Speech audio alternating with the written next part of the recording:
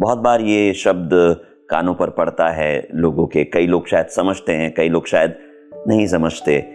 स्वाभिमान। आपसे जानना चाहेंगे कि स्वाभिमान क्या है?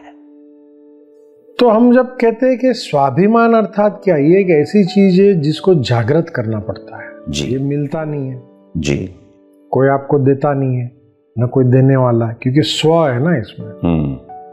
इसको जागृत करना पड़ता है।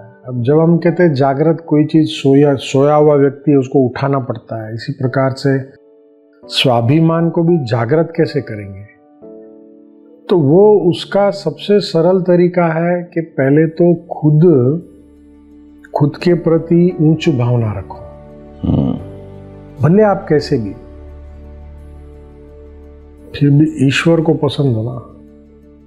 तो स्वाभिमान को जागृत करने का सबसे सरल और सस्ता उपाय है think at least good and positive about yourself right let others think whatever they want to think right आप तो कम से कम अपने बारे में अच्छा सोचो।